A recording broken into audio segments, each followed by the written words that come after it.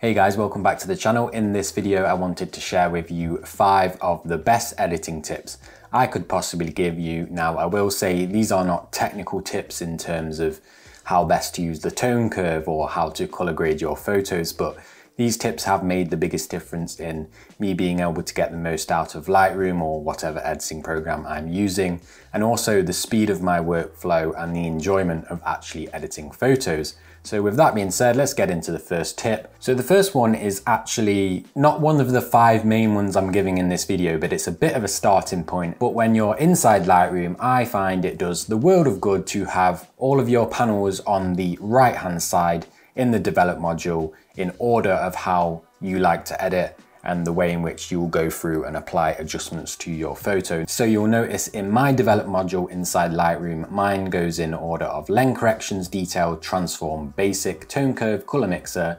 calibration, effects, and lens blur. That is not the default order, that is an order I've set up myself. And if you want to do this to sit in line with the way in which you edit photos, all you need to do is right click on any of these tabs and it will come up and say customize develop panel and from there you can then rearrange the order in which your settings sit. Okay, so onto the actual first official tip, shall we say, for this video number one. The reason I spoke about rearranging those panels first is because the next tip is all about applying your biggest adjustments and biggest changes first and editing in a certain order that works best for you. So again, going back to the way my Lightroom is set up, you'll see I've got lens corrections, detail, and transform first. Now, those are three things that dramatically affect and impact the image. Lens corrections, obviously you're correcting any distortion or vignetting that is created by the lens.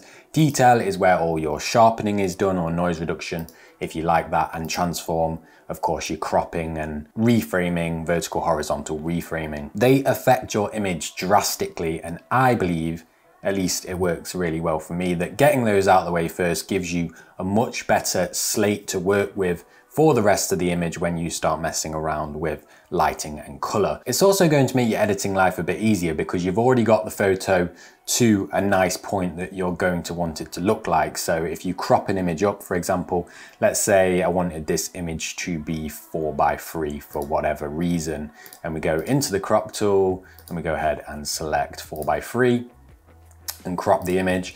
Now, when I start applying adjustments like lighting and color, it already looks how I want it to look when I'm going to save it. So you're going to get a much better idea, a much better visualization in your head and on the screen of what your image is going to look like when you start applying further adjustments. Even going past sharpening, cropping and lens corrections, I would also recommend applying any major adjustments to your image in terms of the look. So on this image here, again, let's select the sky in this image just for the, the sake of this video. And let's say I've decided 100% I, I want a nice cool cold sky. So let's bring the temperature down to make it quite blue like this. Actually looks quite nice to be fair. So once I've done that and I've made my sky nice and blue and cold, I can then go start making adjustments to the rest of the image to make it sit in line with the sky and harmonize nicely with it. Whereas if I edited the whole image or the foreground or the building or anything in this image first and then made my sky very nice and cold and blue,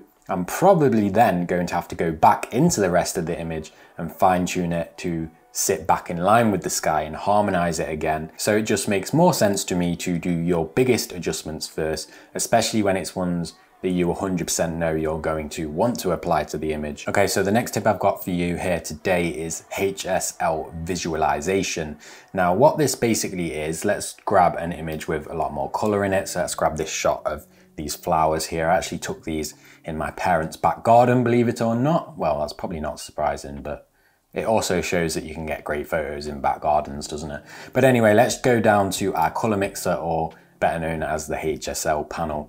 And likewise with your basic tab inside Lightroom, which is your highlights, your shadows, all that good stuff, you probably know that you can hold Alt or Option on your keyboard and visualize the clipping in your image while you're holding it. So this exact same technique applies within every single panel inside the HSL, so the hue, saturation, luminance. You can use that same alt or option visualization inside there. But the reason I bring it up is because I feel like this is one of the most underrated features in Lightroom that isn't spoken about much. People always mention and always have mentioned clipping inside the basic panel, but this is so, so powerful. So if I go ahead, let's, let's move the purples on the luminance slider while I'm holding Alt or Option. And what you'll see is the rest of the image go to black and white. And as, as I shift that slider, you're going to see the effect applying to that color and that color only. Let's jump into saturation and let's pick the yellows because there's some yellows and greens in the back here. So let's hold Alt or Option on the keyboard, slide that around, there you go. The flowers have now gone black and white and you can see it affecting the yellows in the back. Now, why is this so good?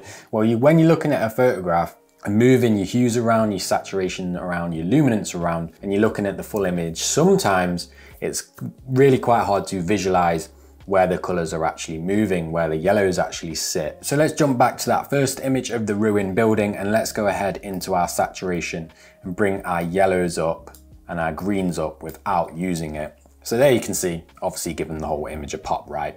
Let's reset them and now let's use the Alt or Option key on our keyboard to actually visualize it and bring the yellows up and you can see there that there's quite a clear divide in where the yellows and greens actually are in the image.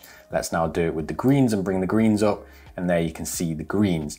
So visualizing them separately for me is one of the most underrated and most powerful ways to edit your colors, your hues, your luminance, everything like that inside Lightroom. Let's just do one more quick example of this in action so you can see how powerful it really is. So this image here, I'm looking specifically at the ISIS sign on the edge of the building there here.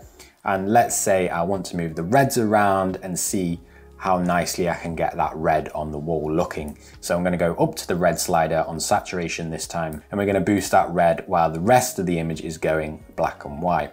So what we're doing here is we can visualize in the background, there's actually some seats and a woman's piece of clothing there that there's also red on. And that might, I might have missed that. I might have just been looking at the ices on the wall and only caring about how that looks. Whereas in the background, I can see I actually don't want that woman's piece of clothing there to be that red. I'm sure photographers that have been doing photography a while, editing images for a while, will already be aware of global and local editing techniques.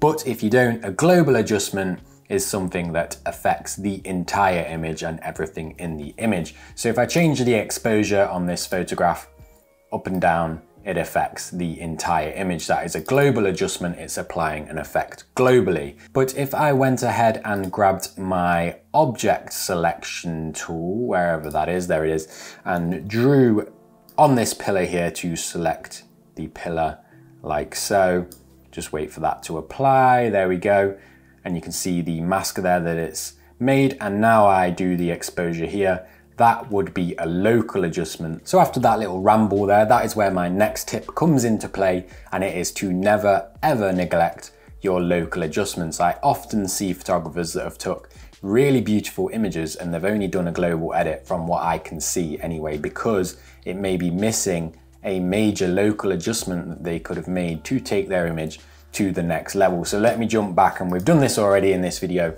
but let's say this photograph here, this is how I shot this image and I globally edited it, did my saturation, my color grading, adjusted my highlight shadows and all of that good stuff, and then saved it out and didn't do any local adjustments. Now, what I could do to this image to instantly make it better is select our subject here and correct that exposure. Let's put it back to where I think it looks best and there you go, a local adjustment that has made the image a lot, lot better. So try your best to not go through your editing process applying stuff that affect the entire image and not think about how you could best improve even tiny little segments like a road sign that you could give a bit of a pop of a color to. Okay, on to tip number four for this video, and this one is kind of more of something to remember and think about when you're editing rather than actually like using tools inside Lightroom. I guess quite a lot of these are, but this tip is thinking about why you are applying every single adjustment to your image. You may have seen or heard all of those videos over YouTube that are like mistakes that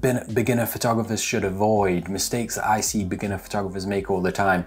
And without making one of those videos, this is one of those mistakes, in my opinion, is people thinking that because the adjustments are there to use in Lightroom, they should utilize each and every single one of them, but that's definitely not the case. Less is always more when it comes to editing. Back to this example image of the ruin. Let's say, for whatever reason, I opened my image and I started slapping adjustments on. So let's go ahead and let's give it a curve look. Let's give it some grain. Let's give it some vignetting. Let's give it a pop as well. And before I even clicked more than four or five adjustments, we've ended up with an image that I mean, you could be sitting there and being like, that is amazing. But no, to me, that, that doesn't look nice at all, not visually pleasing. And there is also no thought process behind them of whether I actually need those adjustments. So let me just undo all of those, look at the image again, and say to myself, could this image do with a vignette in order to drive more attention into the ruin in the middle of the photograph?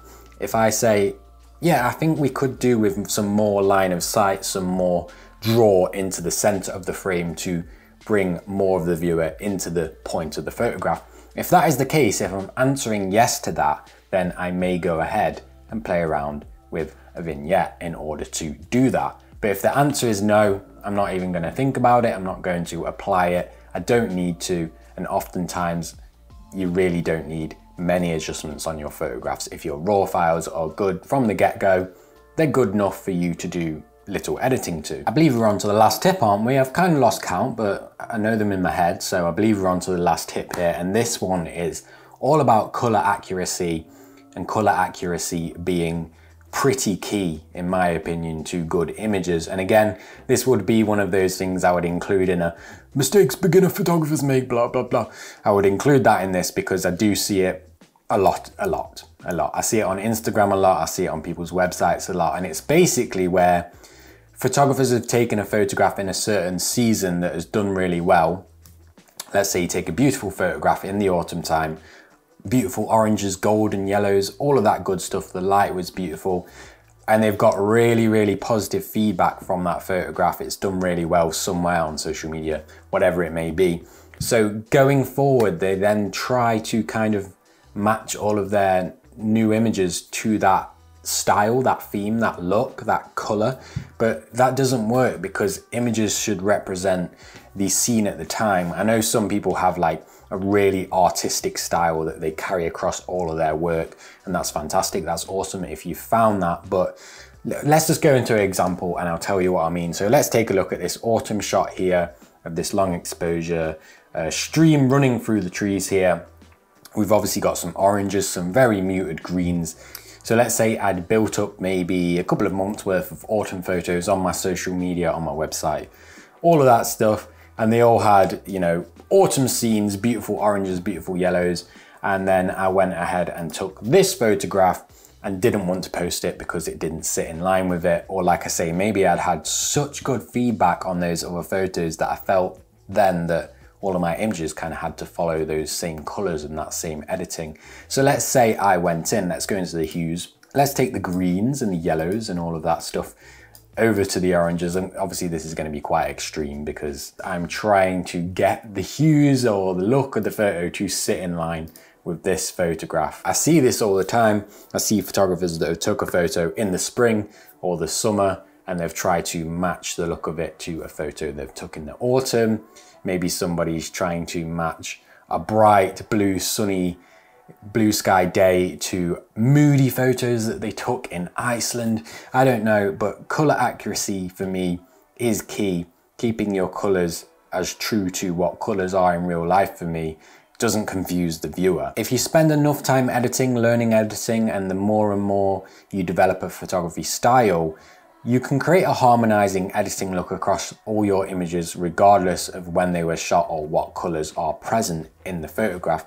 You've got to remember that photography style actually comes way more from the camera than it does your editing. Editing style is a separate thing to photography style because let's say you shoot garage doors, right?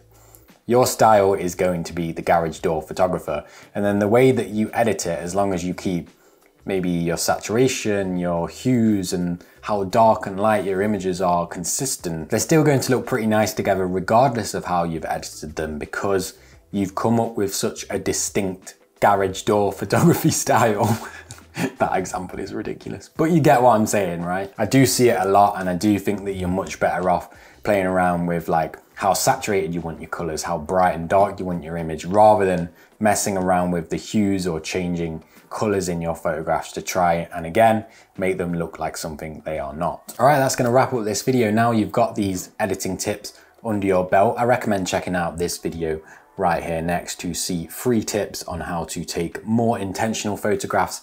And with that said, thanks so much for watching and I'll see you in the next one.